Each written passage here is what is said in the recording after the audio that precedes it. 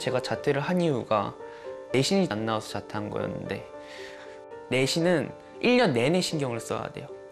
한 번이라도 삐끗하면 바로 떨어지기 때문에 2학년 2학기나 3학년 때 아주 잘하면 올라가는 경우도 있지만 보통은 그렇게 올라가기 힘든단 말이에요. 왜냐 고2 때 말이나 3학년 되면 다들 공부를 시작하니까 그래서 차라리 시간만 낭비할 바에는 정시로 공부하는 게 나을 것 같다고 생각을 했어요.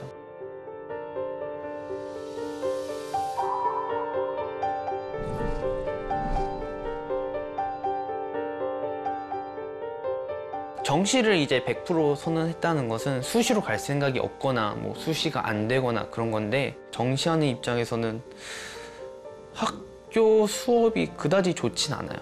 그냥 가야 되는 곳 의무적으로. 근데 뭐 배우려고 가는 거보다는 이제 그냥 어쩔 수 없이 가야 된다. 점수도 이미 안 되는 걸 굳이 노력할 필요는 없다고 생각을 하죠. 많이. 왜냐 학교 선생님들이 이제 시험을 출제하는 게 아니다 보니까 학교 수업은 거의 안 들으려고 하죠. 그지 뭐 다른 과목 특히 뭐, 뭐 기술 과정, 체육 이런 이제 수능에 안 나온 과목들은 아예 듣지도 않고 이제 그 시간에 다른 과목 공부를 하죠 보통. 원래 보통 선생님들은 말리죠. 말리는데 이제 저 같은 경우에는 자퇴를 거의 밀어주셨어요 결국은. 왜냐 학교에서 공부할 마음이 아예 없는데 학교에 잡아두는 것보다는 그냥 이제 정시 공부에 모든 걸 거는 게 이 학생을 더 좋은 대학으로 가는 방법이다라고 생각하셨던 것 같아요. 어차피 너가 해서 너가 가야 되니까 좀 더 성공 가능성이 높은 걸 이제 보셨던 것 같아요.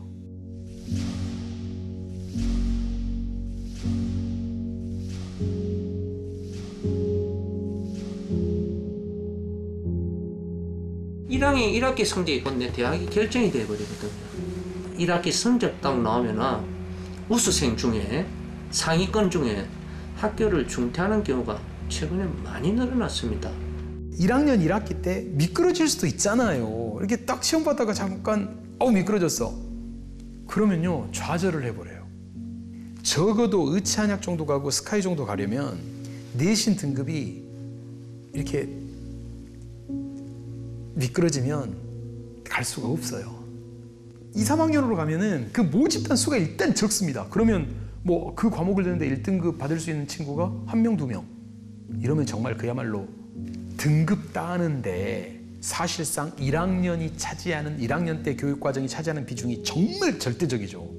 내신 성적이 무너지면 수시가 없어지는 거잖아요. 내신으로 들어가는 전형이. 그럼 2학년, 3학년 때 중간고사, 기말고사를 보는 게 이 친구들한테는 아깝다고 느껴지는 거죠. 그럼 어차피 수능으로 뽑는 것도 40%나 되니까 중간고사, 기말고사를 공부하는 게 아니라 수능 공부를 하겠다. 그래서 1년 만에 되면 좋고 안 되면 2년 만에 해도 고등학교를 졸업해서 수능 보고랑 똑같지 않냐 라고 인식하는 학생들이 늘어나는 거죠. 음. 그래서 어찌 보면 수능이 늘어나는 것과 이 자퇴생이 늘어나는 거는 맥을 같이 한다고 볼 수 있어요.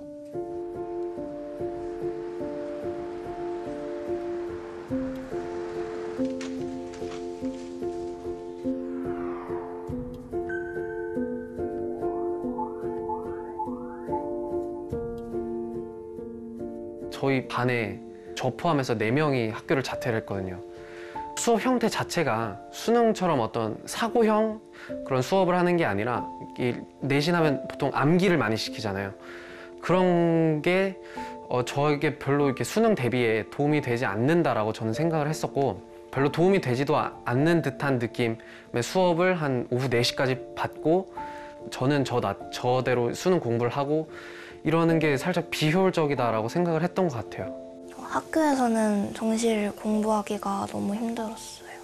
구석 자리에 앉아가지고 교과서 펴놓고 밑에다가 문제집을 문제집이나 노트 같은 거 펼쳐놓고 이렇게 조금씩 했었는데 이제 그러다가 한번 걸리면 집중 감시 대상이 돼요. 그래가지고 절대 안 걸리려고 이제 요만한 종이에다가 암기할 거라던가 풀 문제들을 다 적었어요. 교과서에다 풀라고.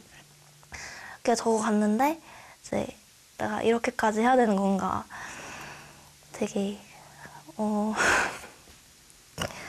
그 이걸 만드는 시간도 꽤 걸려요. 매일매일 거 만들고 거기서 한정된 공부를 하고 하는 게전 너무 회의감이 컸었어요. 학교 선생님 분들이 그 수업을 안 듣고 정시 공부하는 친구들한테 좀 공부를 못하게 막으려는 그런 경향이 있었어요. 내신 공부 안 한다고? 네네. 학교 수업을 안 들어서 그것 때문에 학교 안에서는 공부를 제대로 못할 것 같다는 생각이 들어서 학교를 나와야겠다고 생각했습니다.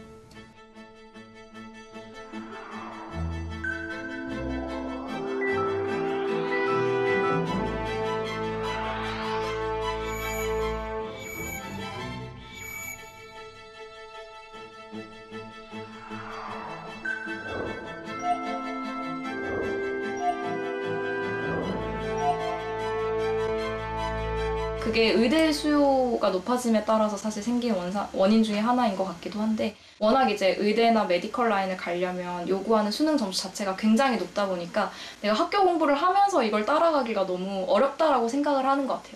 그게 꼭 높은 학교를 목표하지 않아도 학교 공부가 별로 의미가 없는 것 같아요라고 하는 친구들도 많이 있어요. 조금 수능이랑 학교 내신 시험이랑 좀 괴리감이 생기는 경우가 많다 보니까 어, 내신 시험은 너무 지엽적이에요. 이거를 잘 푼다고 수능을 잘 볼 수가 없어요. 라고 생각해서 이 시간에 내가 수능 문제 몇 개 더 풀면 좀 더 실력이 늘지 않을까라고 생각해서 선생님들의 어떤 조언이나 수업이 방해라고 생각을 하는 것 같아요. 그래서 이제 얘들은 아, 어떤 게 자기한테 입시에 유리하나 이런 걸로 판단하는데요. 정신 어떻게? 다른 거 신경 아무것도 쓰지 않고 오로지 수능만 보면 된다. 그건 뭘까요? 그 친구는 학교 자체, 학교 교육 자체가 사실상 자기의 진로에 장애물이 된다고 생각한 거잖아요. 학교 자체가 이미 입시를 위한 어떤 거쳐가는 그런 거라는 것이 사회가 이미 이제 그렇게 공론화되고 더욱 안타까운 거는 애들조차도 그렇게 생각하도록 계속 끊임없이 주입한다는 거거든요. 이게 이, 이 공교육 붕괴의 핵심이에요.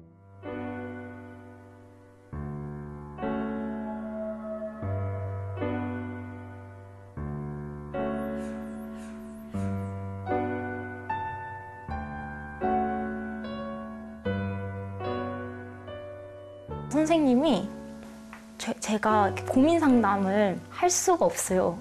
저처럼 이렇게 좀 학교 생활이 힘들어하는 애들도 있는데 어, 선생님이 이제 저 같은 애들 신경 써줄 만큼 한가하시지도 않고 아 싫었어요. 관심이 없으셨어요. 자퇴한다고 했을 때 별 반응 없이 그냥 해주셨던 것 같아요. 말씀드렸을 때는 그냥 바로 하게 해주셨어요.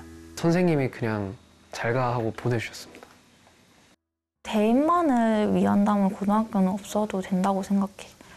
왜냐면 저는 학교를 뭐 자퇴하고 수능을 준비해서 더 일찍 들어가는 친구도 봤고 대학 대학 입시 그 자체만을 위한 고등학교는 없어도 되는 공간이 아닌가.